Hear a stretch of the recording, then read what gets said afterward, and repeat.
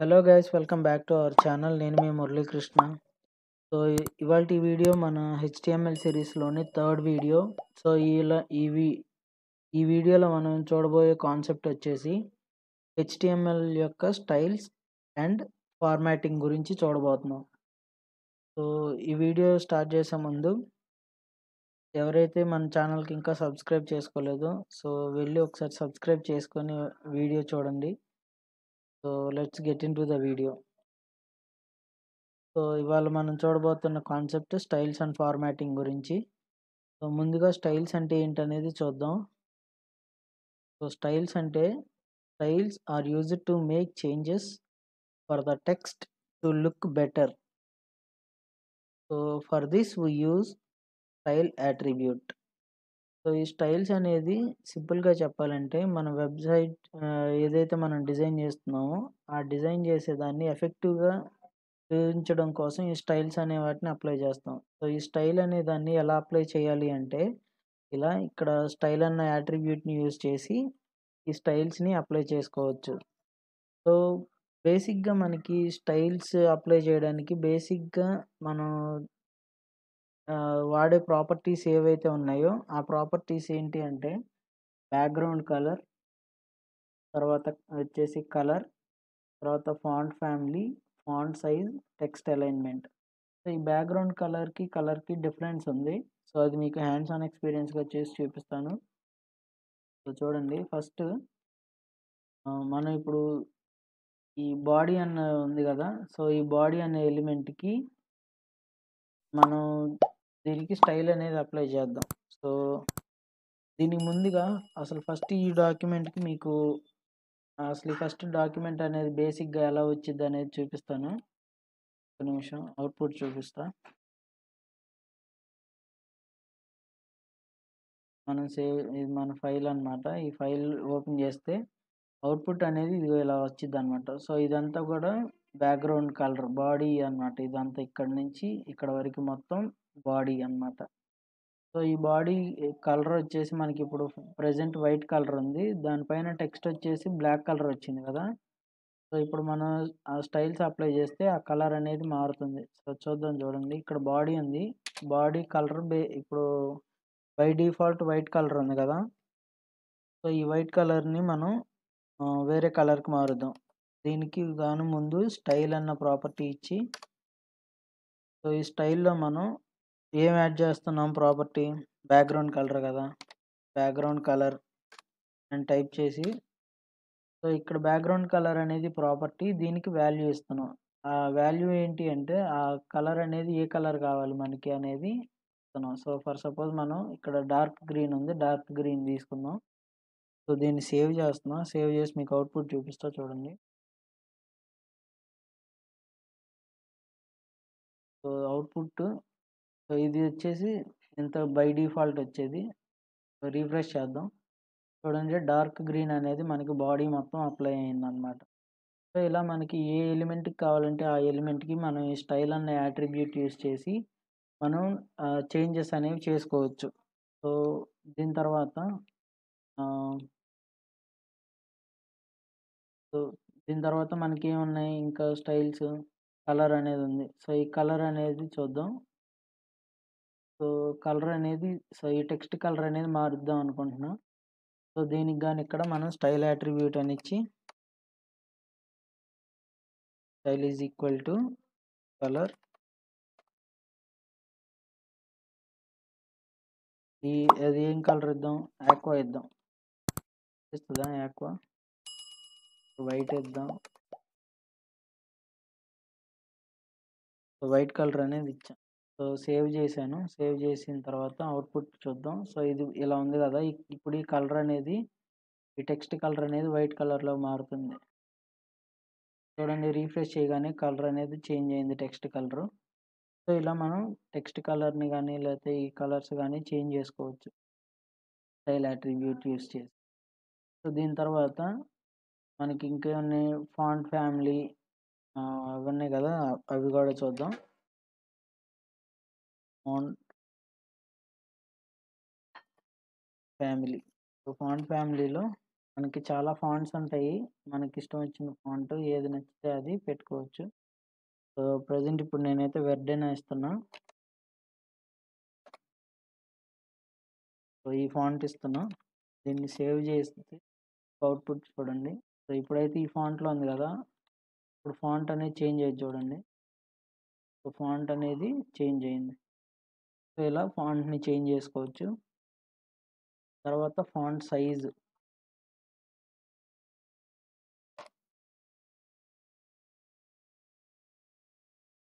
Font size thirty pixels ఇద్దాం. Save చేసి output చూద్దాం. సో, ఇప్పుడు ఇలా ఉంది కదా థర్టీ పిక్సెల్స్ ఇస్తే ఇప్పుడున్న దాని మీద కొంచెం పెరిగిద్ది అనమాట సైజు చూడండి. సో, ఇలా మనం ఫాంట్ సైజ్ అనేది కూడా అప్లై చేయొచ్చు. సో, దీని తర్వాత మనకి ఇలా స్టైల్ అనే యాట్రిబ్యూట్ యూస్ చేసి మనకి ఉన్న ప్రాపర్టీస్ అన్నీ వాడుకోవచ్చు. మనకి ఎలా కావాలంటే అలా మనం డిజైన్ అయితే చేసుకోవచ్చు. సో, దీని తర్వాత ఫార్మాటింగ్ చూద్దాం. ఫార్మాటింగ్ అంటే ఏంటి అనేది సో, స్టైల్‌కి, ఫార్మాటింగ్‌కి కొంచెం సేమే ఉంటుంది డెఫినేషన్ అనేది.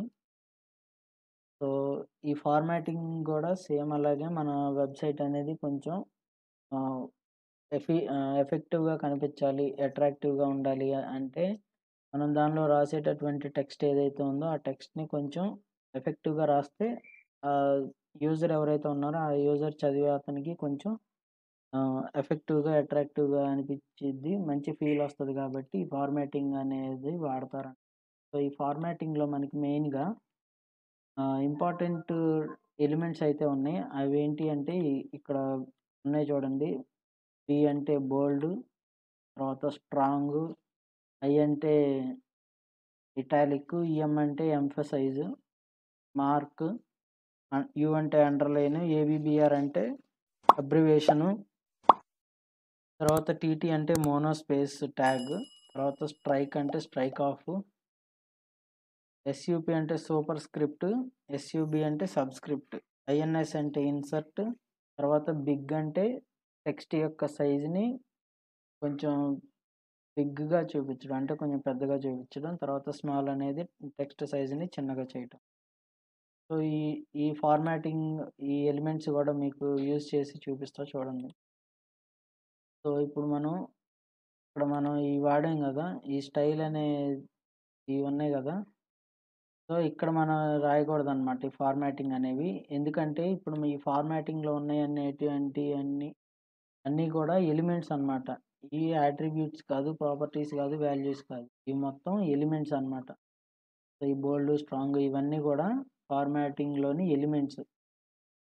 సో, కాబట్టి మనం అలా స్టైల్ అనే యాట్రిబ్యూట్ లోపల రాయడానికి వీలు కాదు. సో, దీనికి వీటిని ఎలా రాయాలి అంటే ఇక్కడ చూద్దాం. సో, ఇప్పుడు ఫర్ సపోజ్ నాకు ఈ టెక్స్ట్ అనేది ఈ సో, టెక్స్ట్ అనే ఈ టెక్స్ట్ మొత్తం ఇలాగే ఉండాలి. దీనిలో ఈ వెల్కమ్ అన్న వర్డ్ వచ్చేసి నాకు బోల్డ్‌గా కనిపించాలి. సో, దానికోసం నేను బోల్డ్ ట్యాగ్ అనేది యూజ్ చేసుకోవచ్చు. సో, బోల్డ్ ట్యాగ్ ఎలా రాస్తారు? ఇక్కడ బిఎన్ ట్యాగ్ యూజ్ చేస్తే ఆ వర్డ్‌కి అటుపక్క, ఇటుపక్క బోల్డ్ ట్యాగ్ అనేది యూజ్ చేయాలి.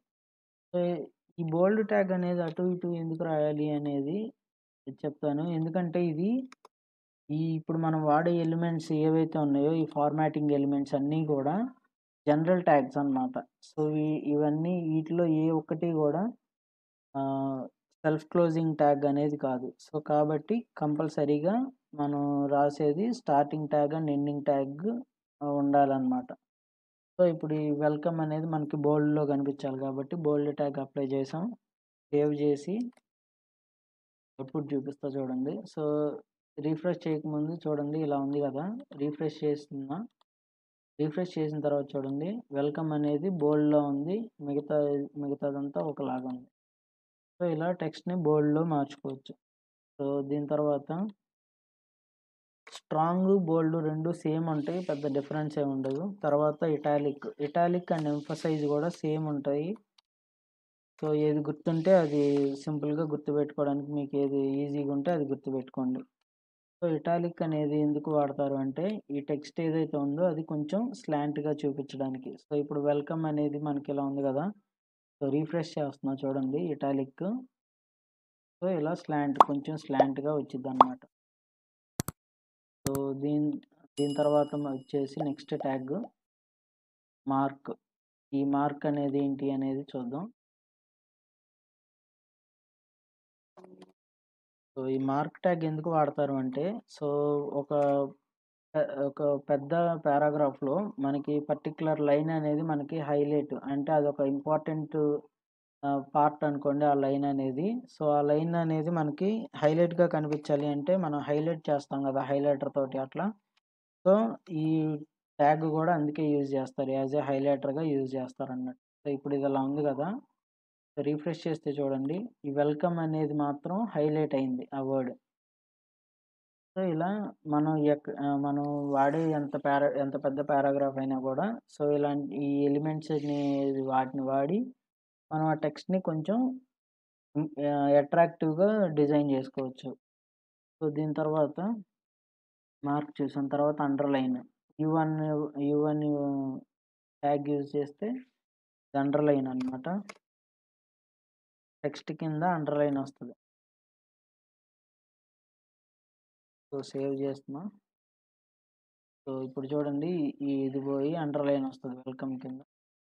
సో ఇలా అనమాట సో దీని తర్వాత ఇక్కడ టీటీ ఈ టీటీ అనేది ఎందుకు అంటే మోనో స్పేస్ అనమాట సో ఫర్ సపోజ్ ఇక్కడ ఉన్న ఈ టెక్స్ట్ మొత్తం ఇక్కడ చూడండి రెండు ఉన్నాయి కదా రెండు స్పేసెస్. సో ఒకటి రెండు రెండు స్పేసెస్ ఉన్నాయి కదా.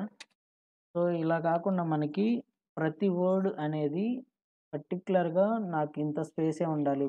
వర్డ్ టు వర్డ్ మధ్యలో ఇంత స్పేసే ఉండాలి అనుకున్నప్పుడు అప్పుడు మనం ఈ టీటీ అన్న ట్యాగ్ని యూజ్ చేస్తాం అన్నట్టు. తర్వాత ఈ స్ట్రైక్. ఈ స్ట్రైక్ ట్యాగ్ ఎందుకంటే టెక్స్ట్ని స్ట్రైక్ ఆఫ్ చేయడానికి స్ట్రై స్ట్రైక్ అన్న ఎలిమెంట్ని వాడతాం.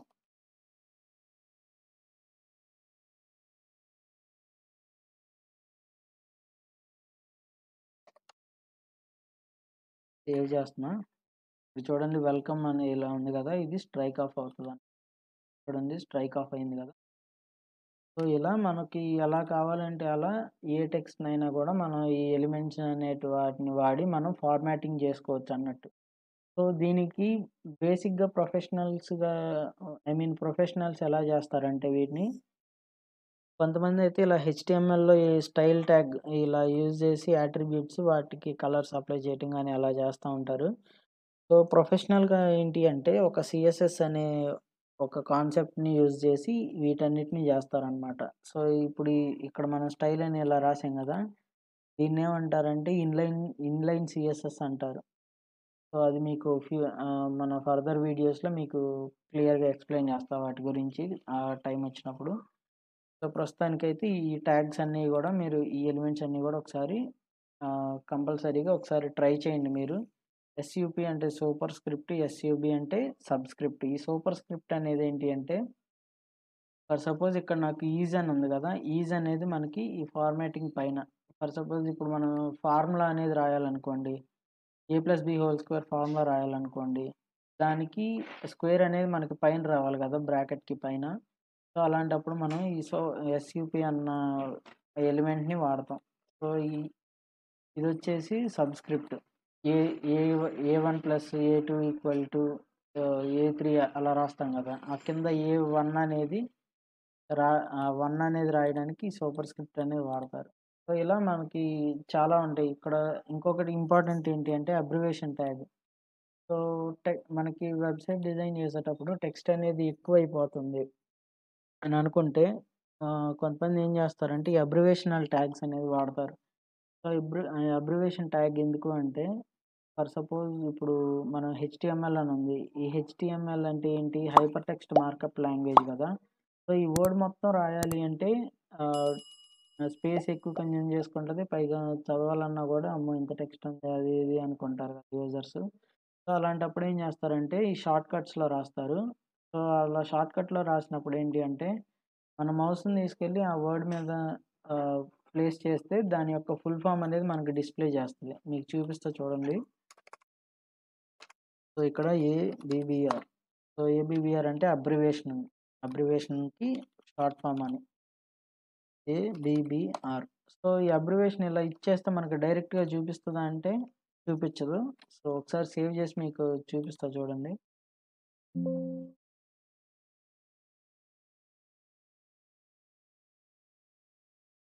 సో ఇప్పుడు చూసారు కదా ఇది. సో రిఫ్రెష్ చేస్తున్నా. సో ఇలా ఉంది కదా టెక్స్ట్. సో ఇప్పుడు మనం వెల్కమ్ అనే దానికి అబ్రివేషన్ ట్యాగ్ అనేది అప్లై చేసాం. సో ఇక్కడ మనం మౌస్ తీసుకెళ్ళి ఇలా పెడితే మనకి ఏం చేంజెస్ అయితే ఏం రావట్లేదు సో చేంజ్ రావాలి అంటే దాని యొక్క ఫుల్ ఫామ్ మనకి తెలియాలి అనుకుంటే సో ఇక్కడ హెచ్టిఎంఎల్ అని ఇస్తే మీకు క్లారిటీగా ఉంటుంది.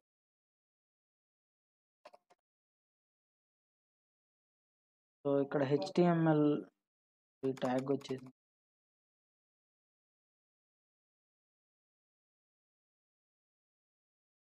హెచ్టిఎంఎల్ అని ఇచ్చాను.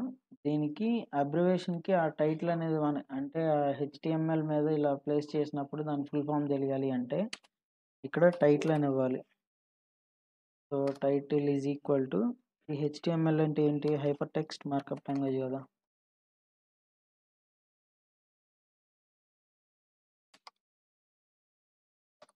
సో ఇలా ఇచ్చేసి దీన్ని సేవ్ చేస్తున్నాం. చూడండి మీకు చేంజ్ కనిపిస్తుంది. సో ఇక్కడ చూడండి. HTML మీద అలా ఈ మౌస్ పాయింటర్ తీసుకెళ్ళాలి ప్లేస్ చేస్తే మనకి దాని యొక్క ఫుల్ ఫామ్ అనేది ఇక్కడ మనకి డిస్ప్లే చేస్తుంది. సో ఇలా అబ్రివేషన్ టై ఎలిమెంట్ అనేది వాడతారు.